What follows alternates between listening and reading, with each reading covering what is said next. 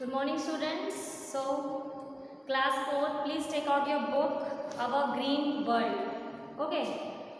And take out your page number 2 of your workbook. Last video में मैंने आपको carbohydrate के बारे में समझाया था, किस फ्रूट्स में सीरियल्स में, किन में कार्बोहाइड्रेट ज़्यादा होता है और कार्बोहाइड्रेट के क्या प्रॉफिट होते हैं यहाँ से कौन कौन उन्हें ज़्यादातर ऑप्टेन करता है ठीक है, जैसे कि लेबर होते हैं rickshaw puller and sport person और ये एनर्जी गिविंग फ़ूड होता है, ठीक है? So today we are going to see protein जो कि हमारा सेकेंड प्रोटीन होता है। Okay protein next is okay now what is protein protein यानी it is a part of nutrients milk cheese pulses peas किस किसमें होता है ये? Student please take out your book page number two and see this protein paragraph okay किस किसमें होता है मिल्क में होता है protein cheese pulses soybean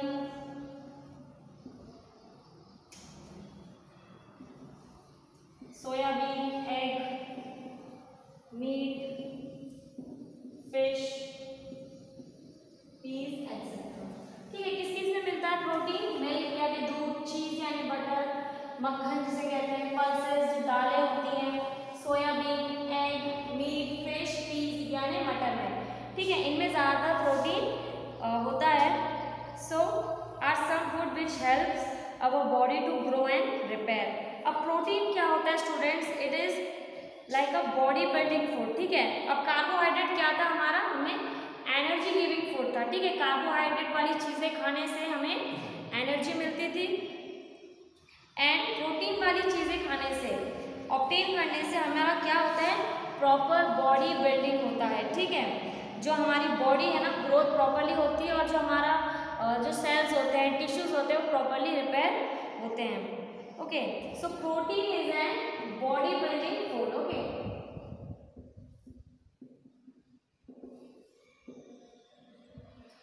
और ये किसमें मिलता है? इन सारी चीज़ों में, ठीक है?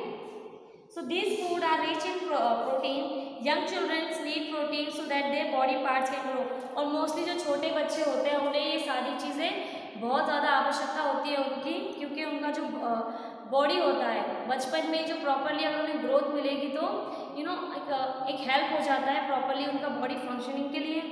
ठीक है? तो इसलिए जो मोस्टली छोटे बच्चे होते हैं चिल्ड्रन जो होते हैं तो उन्हें प्रोटीन वाली चीज़ें खाने खिलाना बहुत ज़रूरी होता है। So they should eat lot of food rich in protein यानी उन्हें बहुत सारी चीज़ें खानी चाहिए, ये सारी चीज़ें खानी चाहिए जिसमें प्रोटीन की मात्रा बहुत ज़्यादा होती है। Okay so this is protein and next is ये सेकेंड न्यूट्रिएंट था third is fat okay fat जैसे कि मैंने आपको बताया था फैट क्या होता है जिसमें चिकनाहट ज़्यादा होती है। ओके जिनसे हमारा यू नो बॉडी ओबेस होने के चांसेस यानी मोटापा आने का चांसेस होता है। सो so, जिसमें किसमें होता है ज़्यादातर हम देखो घर में खाते हैं ऑयल घर में आपने सुना होगा अगर किसी को यू नो मोटापा होता है कोई इंसान मोटा है तो डॉक्टर ने क्या सलाह देते हैं कि आप यू नो ऑयली चीज़ें कम खाइए घी बटर को अवॉइड कीजिए। क्यों कहा जाता है? क्योंकि इनमें बहुत ज़्यादा फैट होता है। ओके स्टूडेंट सी यर फ़ूड रिच इन फैट किस किसमें होता है फैट ऑयल में मिलता है then ghee butter okay almonds groundnut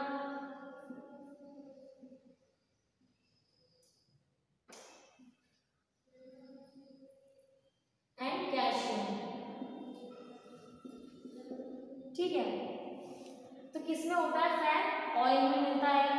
घी जो हम खाते हैं डेली बटर यानी मक्खन जैसे मैंने आपको कहा था।